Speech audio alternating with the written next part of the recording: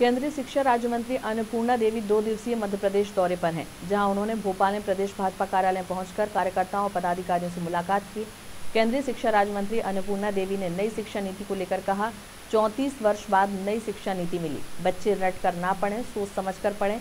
आने वाले समय में उसका बहुत ही सुखदायी परिणाम देखने को मिलेगा।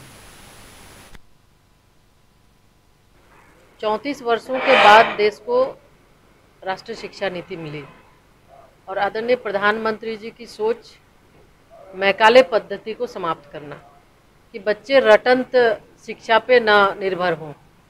बच्चे समझ कर पढ़े, अपनी भाषा में, क्षेत्रीय भाषा, मातृभाषा में बच्चे पढ़े, रोजगारोन्मुखी शिक्षा बच्चों को मिले। क्लास सिक्स से वोकेशनल कोर्सेज की भी बात की गई है।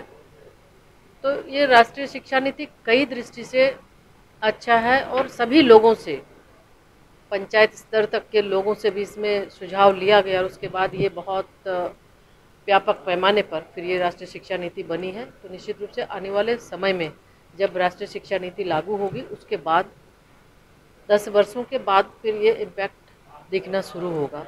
और काफ़ी अच्छा है रिस्पांस भी मिल रहा है। जगह जगह पे सेमिनार भी हो रहे हैं पूरे देश के स्तर पर। तो बहुत अच्छे ढंग से जो मेन सार है, उसके बारे में लोगों को बताया जा रहा है तो आम जनमानस में भी इसके बारे में एक अच्छी धारणा भी बनी है लोगों में।